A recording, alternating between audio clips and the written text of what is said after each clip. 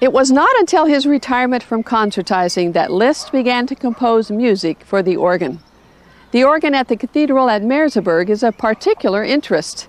It was built between 1853 and 1855 by the North German organ builder Friedrich Ladegast.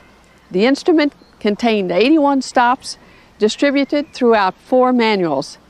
It was on this organ that both the Ad Nos ad Salutarem and the Prelude and Fugue on BACH were written and performed during Liszt's life.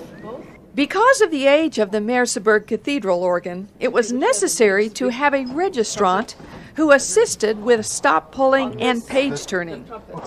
The action of the organ was extremely difficult. To execute the music of Franz Liszt, it required much extra work, both on the manuals and the very stiff pedal board. Thank you.